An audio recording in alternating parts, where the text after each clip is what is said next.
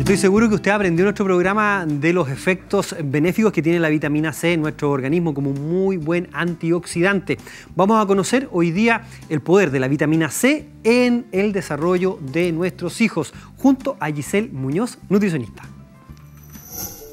El consumo de vitamina C para nuestros niños es fundamental, sobre todo porque se ha visto en algunos estudios que muchas veces cuando tenemos una buena cantidad de ingesta de vitamina C a través de frutas principalmente, se pudiese ver de que nosotros vamos a tener una cantidad de días de cuadro de enfermedad o cuadro de resfrío mucho menor a una persona que no consume alimentos con vitamina C.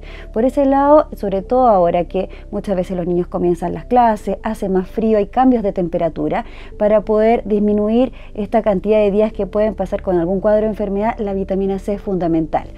Tratemos de consumir, ojalá, frutas, eh, ojalá cítricas, como por ejemplo naranja, kiwi en general, frutillas también se caracterizan por una buena cantidad de vitamina C. También el consumo de verduras también se caracterizan por ser ricas en vitamina C. En general, nosotros recomendamos siempre que los niños consuman alrededor de dos o tres porciones de frutas durante el día para tener un buen consumo de vitamina C. De esta forma vamos a poder ayudarlos a tratar de que estos cuadros de resfrío no sean tan y tratar de que se mejore lo antes posible.